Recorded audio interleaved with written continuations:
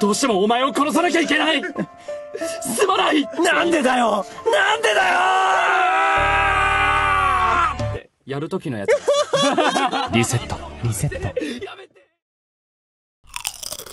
こう結構難しい作品そうだね。結構小難しい。そうなんですよ。あのね、もう、ケイ君が本当にね、あのね、なんだ、めんどくさいタイプだよねめんどくさいもう。させてくださいと、かもしれないっていうのと、うん。か、もう、えっ、と、はずですっていうのをマジで言わないでほしい。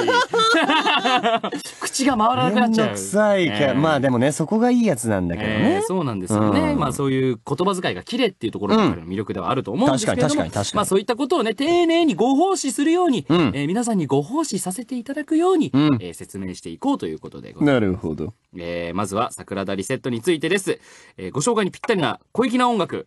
小粋な音楽出してくれるんだろうな、ディレクターさんが。確かにカモン悲しいこの音楽、嘘。え、この音楽に乗せてこんな。説明すんの？もう、だって、これもう、仲間と仲間が打ち合って、最後の最後に、どうしてもお前を殺さなきゃいけない。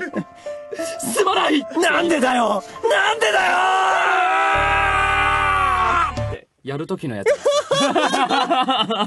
大丈夫かな、はい、ということで、桜田リセットとは、角川文庫と角川スニーカー文庫から出ている河野豊先生による小説でございます。なるほどえースニーカー文庫版のイラストは椎名優さんが担当されています。うん2017年の4月からテレビアニメの放送が始まりました。つい最近ですね。うんまた、